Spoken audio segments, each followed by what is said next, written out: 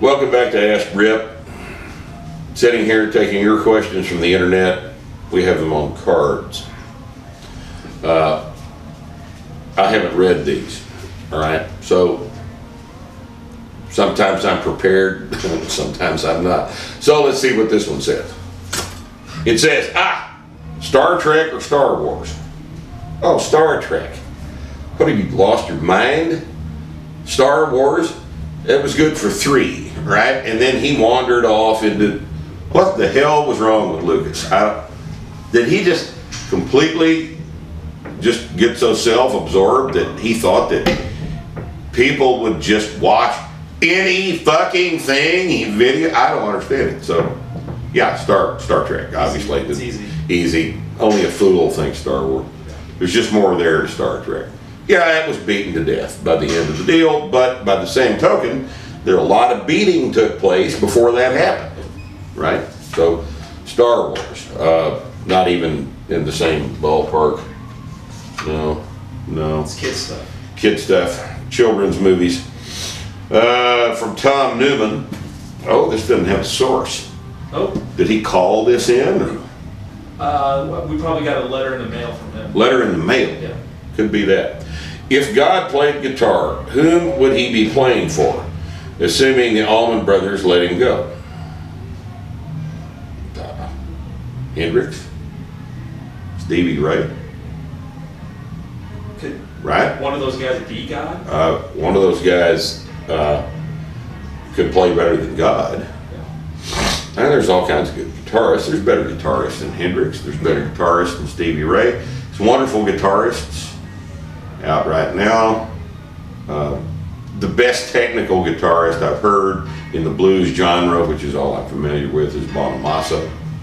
He's amazing. I've actually seen him. I saw him live in the Iron Horse Pub downtown in Wichita Falls in a 300 seat venue.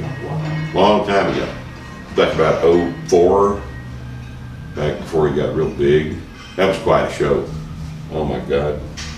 Uh, we've got a, a guy here from Wichita Falls, Mike O'Neill, who's about that same quality of guitarist. Mike O'Neill's very, very, very good player. And uh, he uh, was there for the O'Neill show, said it's the best thing he's ever seen. Bonamassa, uh, I'm sorry, O'Neill was there for the Bonamassa Yeah. show, and he saw he saw uh, Joe played. He thought, oh, this guy's really good, and I couldn't agree more. Bonamassa is the best one working right now that I can tell. But you know, we're gonna have a bunch of comments. If you put this on YouTube, disable the comments. Okay, Yes, I don't want to see all the shit. That's just we can't have it. YouTube comments, YouTube comments, Amazon reviews, and uh, Facebook is just a sewer. Yeah. You know, Yeah. is is are the sources of most of the electricity wasted on the face of the planet right now. It's a horrible. Can you imagine people sitting there typing the doo doo? That John Over. Mayer is the greatest guitarist. John Boehner is that? John Mayer. John Mayer. Yeah, yeah, he's the greatest guitarist that's ever lived. I think you said John Boehner, I was going, oh Well- God. No, I believe that. Somebody would have written that down on, on YouTube comments. Oh yeah, you got to see John Boehner play.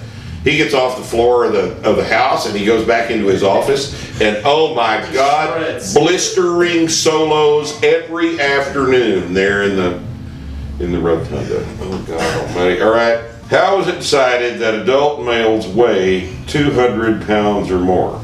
This is from Chris Freeman on Facebook. Uh, I decided that a while back.